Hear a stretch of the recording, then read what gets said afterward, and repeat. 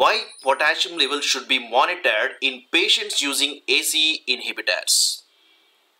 ACE inhibitors are going to decrease the blood pressure as well as they are going to increase the potassium. So is there any relation between this increased potassium and their mechanism? Obviously the answer is no. The increased potassium is because of their renal action.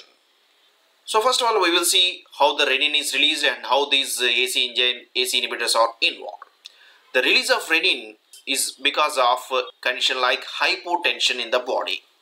When the blood pressure is decreased, it results in the decreased renal perfusion pressure which will stimulate the activation of the renin-angiotensin system. Now this activated renin-angiotensin system will release the renin. Now this released renin then converts the angiotensinogen to angiotensin 1 which is then converted to angiotensin 2 by ACE enzyme, angiotensin converting enzyme.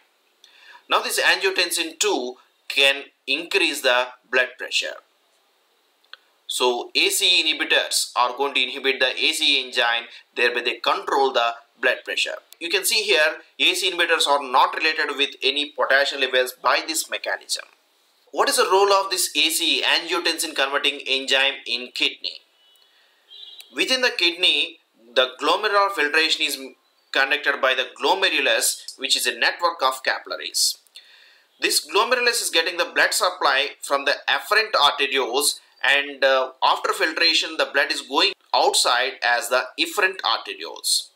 So this water the filtrate is then going into the renal tubules which is going to be excreted as urine.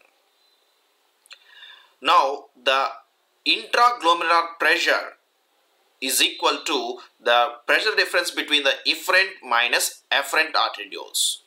So the rate of glomerular filtration or glomerular filtration rate depends on the intraglomerular pressure. So as the intraglomerular pressure increases, the glomerular filtration rate increases. So for an effective glomerular filtration rate, the afferent arteriole should be dilated and efferent arteriole should be constricted.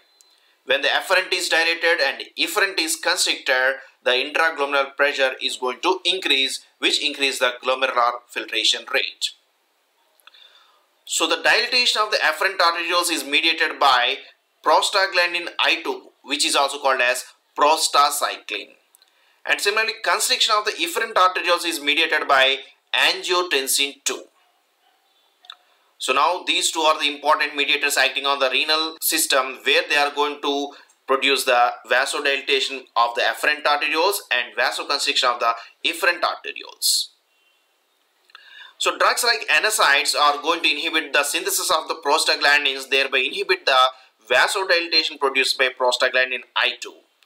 Similarly, drugs like ACE inhibitors and ARBs, angiotensin receptor blockers are going to inhibit the synthesis and action of the angiotensin 2 thereby inhibit the vasoconstriction on the efferent arterioles.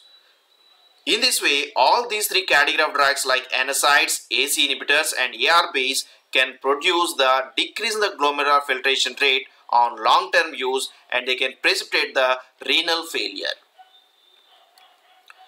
So ACE inhibitors affect the renal function.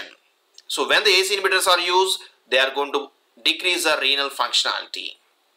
So ACE inhibitors and ARBs on long-term use they decrease the glomerular filtration rate which can decrease the renal function thereby they decrease the excretion of the potassium leading to hyperkalemia the raised potassium levels in the body. So that's why when these drugs are given for a long-term use we have to monitor the potassium levels.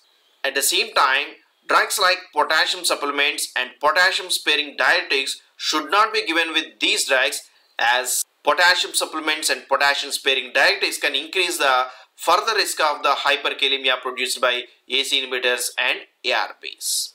So in this way, when our ACE inhibitors are used for a long-term period, the potassium level should be carefully monitored to avoid the hyperkalemia. Thank you for watching this video.